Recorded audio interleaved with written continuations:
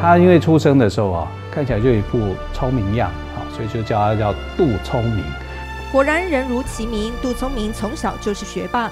淡水工学校毕业后，就以榜首考进第一学府台湾总督府医学校。可惜体格太差，差点被退货。他的体格呢，被列为叫丙下，那时候就不想用他。不想用他的时候呢，这代理校长就说：“可是他是榜首啊，榜首怎么可以不用呢？”好，所以就极力为这个学生说情。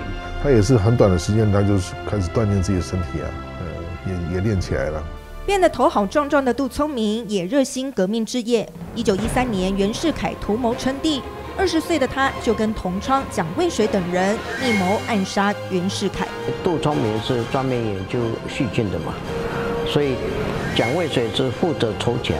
呀，然后派杜聪明跟翁倩玉的祖父叫翁建明两个去执行。他只能撒在原始的，他可以喝的水源地，因为当时北京能够喝到自来水的人是非常少，除非是那种达官显要，所以他必须要找机会要把这个霍乱菌去放到水源地。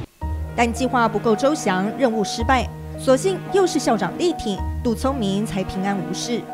隔年，他以第一名的成绩毕业，并考上京都帝国大学医学部。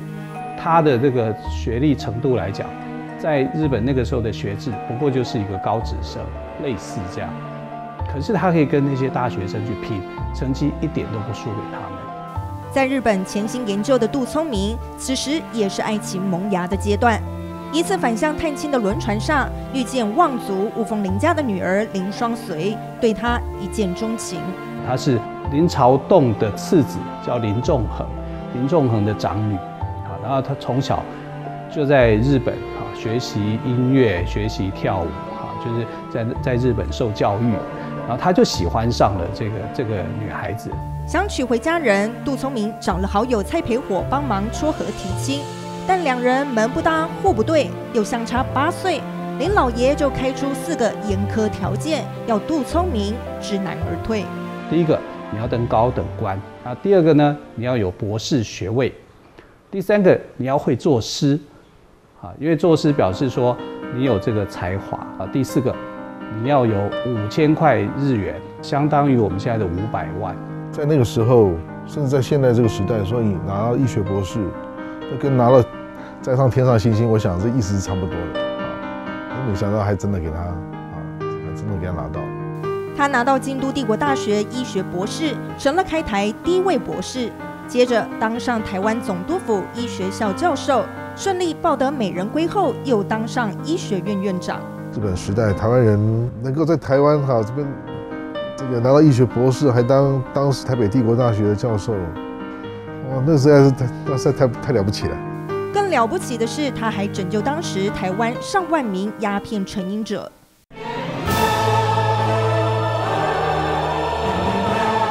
日本人接收台湾以后呢，就认为说，鸦片啊，贩卖鸦片可以带来很大的利益，所以他们并没有去禁绝鸦片。后来台湾民众党之所以那么讨厌日本，就一个原因就是你竟然用这种贩卖鸦片去欺压台湾人，啊，所以后来像蒋渭水他们啊，甚至向国际联盟去控告，发电报给国际联盟。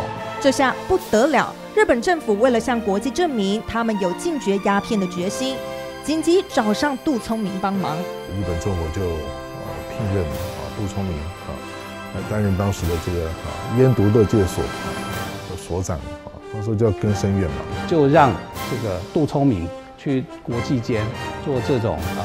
戒断治疗的一个医疗的一个报告说明说，哎，我们现在是努力的在控制这个鸦片的一个毒害。渐进断疗法是杜聪明花十一年的研究，让鸦片成瘾者不再以激烈又痛苦的方式戒毒，慢慢减量的方式，到最后就完全不要用药。这个在医学里面很多的戒药的方式都是到目前为止来讲，都还是按照这个方式在做。啊，他为一万五千人来做这种。毒瘾的这种戒断获得成功，也有将近一万五千人，大概四五百人没有办法戒。更厉害的是，当时杜聪明还发明了独步全球的尿液验毒法，直到今天全世界都还在使用。说一百年前哈，当时的台湾人啊，台湾的这个医生啊，就会验尿哎，他可以知道说，呃，你吃了多少的鸦片啊，甚至浓度多少，他都会透过这个尿液的化验啊去找出来。就这样，经过十多年辛苦矫正，鸦片专卖制度终于在一九四五年结束。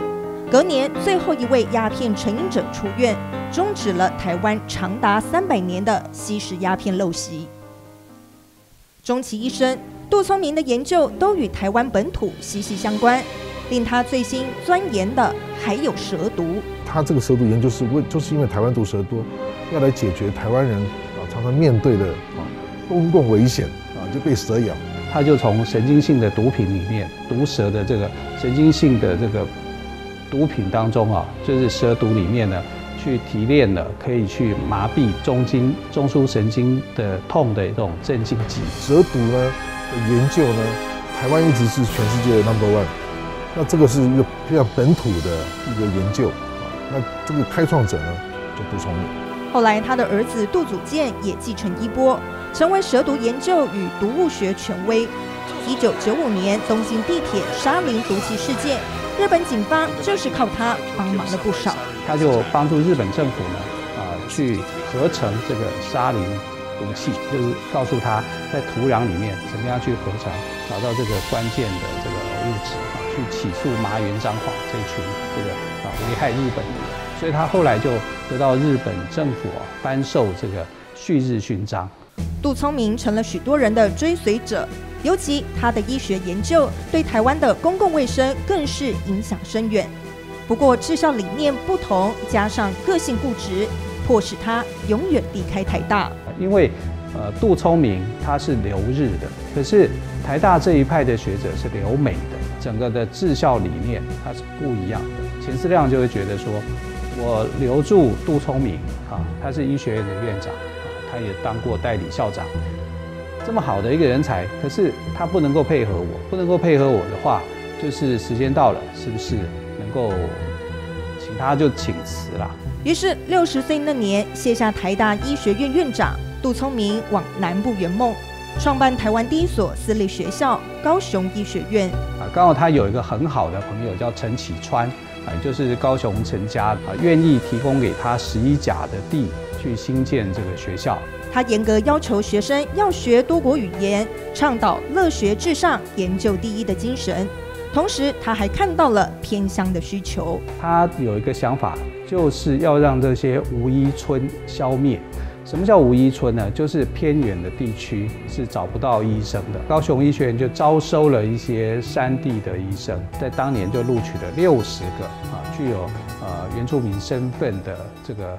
呃，学生，这实践了杜聪明心中怀抱多年的梦想，也使高一成了培育新时代医疗人才的摇篮。我们现在整个台湾啊，几乎啊，这个医学教育呢啊，都都脱离不了这个杜聪明的开创啊的贡献嘛啊，所以他有这个台湾医学之父的这种美称嘛啊，医学之父，那大家都是他都是他的徒子徒孙了。